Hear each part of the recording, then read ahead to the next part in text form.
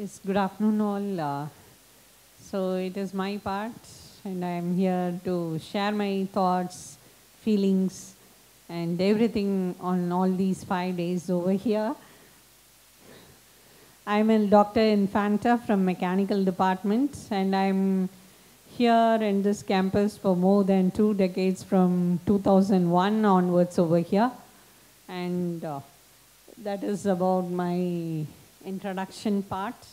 So the key takeaways, since I know about my health condition and my family and for whom I am living over here, and God has given me enough strength uh, in spite of all my difficulties.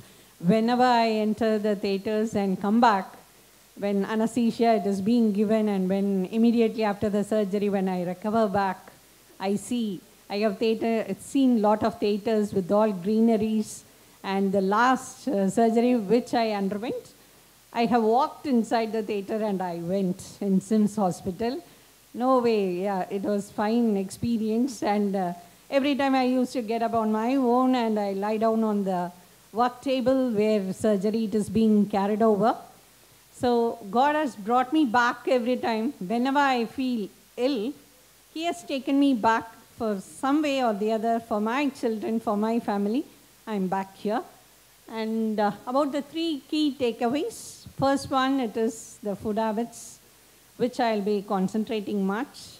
Second, about the eye movements. Eye movements I was not aware since I have undergone lot of therapies, starting from chemo, radiation, hormone therapy, and Herceptin, etc. Lot of cycles, n number of cycles I have undergone. And I used to tell my family members that my entire body is poisonous. Or you have all the medicines it is within my body, it has undergone. And uh, my left uh, hand, all my veins, it has gone thin. And if they want to test the blood, every time uh, once in a year I used to go for my regular checkups. I will tell them initially itself in uh, Metro Plus uh, Metropolis, I used to check it. So I'll tell them first itself, uh, take that butterfly needle thing and then inject it, then only you will get the veins easily, you will be able to take it out. So they, that is the practice. So first I, I'll take care of my food habits. Second, it is the eye movements because everything, uh, I have to practice it very much more. And third one, it is about the health trackers. Uh, because it was new to me. I was not aware of all those things. And since it is a holistic health uh, module, I came to know about all the health tracking systems. And I was uh, doing the assignments and few of the things completely I have missed. The only good practice, not only, uh, most of the things I'm already in practicing. The most good thing is from my childhood days, I am aware from schooling itself, I used to get up 5 o'clock in the morning along with my dad and mom. And uh, my, uh, I'm there along with my two brothers, two sisters. I'm the middle one, so five together in our family.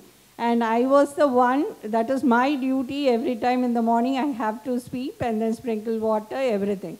So other two girls, my sister elder and younger will be sleeping. So that is a practice from my childhood days till today. More than 6 o'clock, I had been never on the bed. Very rare, either one day maximum I would have slept. So 5 o'clock or by 4.30 I used to get up. So that was the first question on the health tracker system. So uh, likewise, few practices I am practicing it. And uh, next thing about the teeth, I was asking uh, while, while it was under discussion since we, I have side effects, I am aware of it, side effects will be more and everything. But in spite of it, I am regaining my strength, everything. And I am able to walk as a normal person along with the other faculties.